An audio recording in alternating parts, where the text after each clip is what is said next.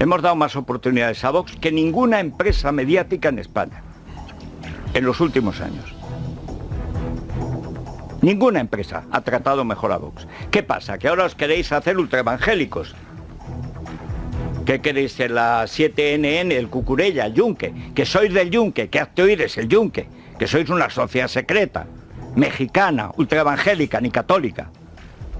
Bueno, decidlo, bueno, no lo diréis, claro, es una sociedad secreta, no pueden decir que pertenece a una sociedad secreta. Es eso, que el Yunque toma Vox, que lo hay, que eso es el Yunque, que eso es hazte oír, profesionales por la ética, Go, eso es, esa secta que está en medios de comunicación ultraminoritarios, pero que tienen muchísimo dinero, estos meapilas, que ya no saben si aceptan a los gays o no, ya no saben si quieren el aborto o no, ya no saben si el divorcio es bueno o malo. Luego en su vida privada son lo peor de lo peor.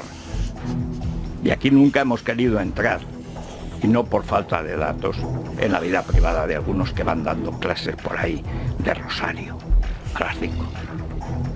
Pero el problema de fondo es que esa minoría de Vox, que cuanto peor mejor, que coincide con Actioir, con el Yunque, con 7NN, con el, Toro cuando no defiende a Putin directamente, que, no representa a los 4 millones de votantes de Vox, ni al primer eh, Vox, no, es el partido de Ortega Lara. Es el partido de estos tíos que cobran de México.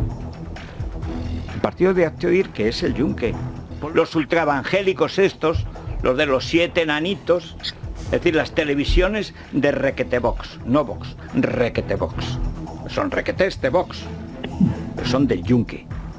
Sociedad secreta mexicana.